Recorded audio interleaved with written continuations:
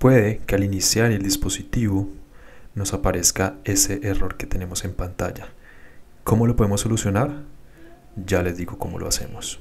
Para saber qué es lo que está sucediendo, por qué nuestro dispositivo no se puede iniciar, es necesario que nosotros revisemos los logs de, Android Studio.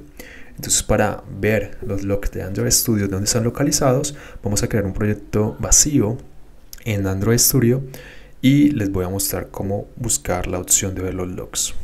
Entonces vamos a crear un proyecto simplemente vacío en Android Studio, le damos clic en New Project. Aquí podemos seleccionar Phone en Tablet, le seleccionamos Not Activity y acá en nombre podemos dejar todos estos campos por defecto. Le damos clic en Finish y esperamos que los componentes se carguen y nuestro Android Studio se abra. Una vez abierto le damos clic en Help y clic en Show Logs in Explorer. Aquí podemos ver ese archivo idea.log. Le damos clic derecho y lo abrimos con cualquier editor de nuestra preferencia. Ese es el log y aquí es donde tenemos que revisar qué es lo que pudo haber salido mal con, eh, con nuestro emulador.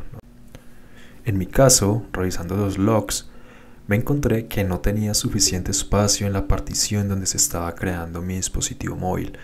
Normalmente es uno de los errores más comunes que he visto, inclusive googleando mucho me encontré con este error, entonces fíjense de que no les esté pasando lo mismo. En caso de que les pase, simplemente eh, traten de limpiar su disco duro, traten de eliminar archivos que no necesiten para liberar espacio.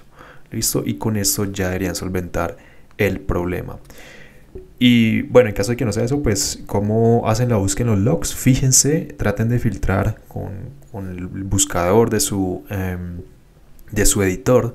Traten de buscar los, eh, la palabra error, ¿listo? Dentro del archivo y vayan navegando un poco a poco. Si quieren también pueden eliminar o más bien limpiar el archivo, borrar todo lo que está ahí y arrancar el dispositivo para que tengan un log más limpio y les se les facilite la búsqueda del error.